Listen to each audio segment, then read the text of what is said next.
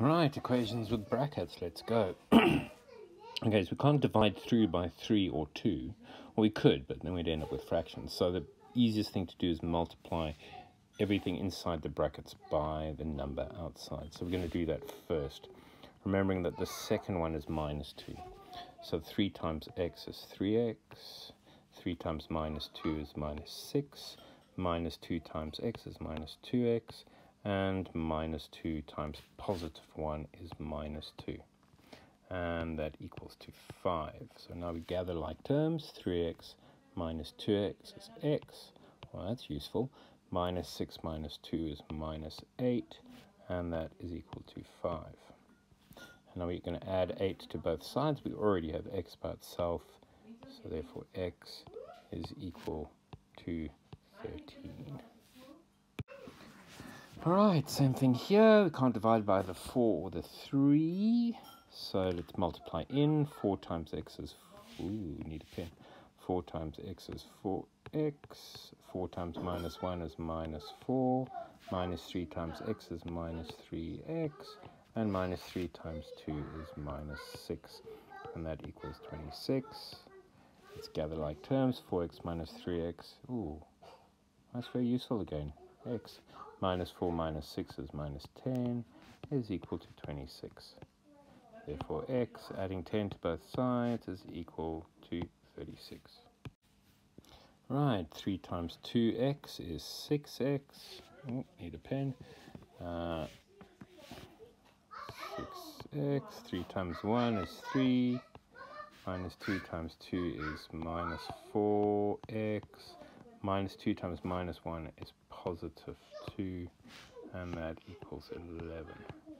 Gather like terms, 6x minus 4x is 2x. Not this lucky this time. 3 plus 2 is 5 is equal to 11. Minus 5 from both sides, 2x is equal to 6, and therefore x is equal to 3, dividing both sides by 2. Alright, multiplying in by 9, we get no, need a pen. I keep doing that. Um, 9 times x is 9x minus 18 minus 6x minus 3 times minus 3 is plus 9 and that's equal to 12 so 9x minus, ooh, let's group like terms, 9x minus 6x is 3x, minus 18 plus 9 is minus 9, equal to 12. So therefore 3x is equal to 21. Therefore x is equal to 7, dividing both sides by 3. Alright, this one I'm going to divide through by 2. And if I divide through, let me, I'm going to actually draw it just to show what I'm doing. So I'm going to divide this entire side by 2 and I divide that side by 2. So 2, and what I have to do is each of these is a whole term. Remember terms? Um, so this is a term, and this is a term. So I must divide each of those by 2. Um, cool. So 2 divided by 2 is 1, so we've got 5x minus 7. Minus 6 divided by 2 is minus 3, and 2x minus 3 is equal to naught. Now we've got one bracket left, so 5x minus 7 minus 6x minus 3 times minus 3 is plus 9 equals naught. And 5x minus 6x is minus x, minus 7 plus 9 is plus 2 equals naught minus x is equal to minus 2, dividing both sides by minus 1, x is equal to 2. Okay, we're going to try the same one again, except we're going to multiply through. 2 times 5x is 10x. Oh, need a pen. If I do that again, uh, your cookies. 10x, 2 times minus 7 is minus 14. Minus 6 times 2 is minus 12x. Minus 6 times minus 3 is positive 18, and minus times minus is plus. and that is equal to naught. Group like terms, 10 minus 12 is minus 2x, minus 14 plus 18 is plus 4 equals naught. Subtract 4 from both sides, minus 2x is equal to minus 4. Divide both sides by negative 2, x is equal to negative, oops, positive 2 because of negative divided by negative is a positive. And look, it's the same answer. Yay. Okay, multiplying by 3. I can't divide through here. So let's do 3 times. Alright, 3 times 3 is 9x. 3 times 2 is 6. Minus 4 times 2 is minus 12x. Minus 4 times minus 3 is plus 12. And then equals naught. 9x minus 12 is minus 3x. Plus 6 plus 12 is plus 18 equals naught. Uh, minus 3x, subtract 18 from both sides is minus 18, divide both sides by negative 3, and x is equal to 6. Negative divided by negative is a positive.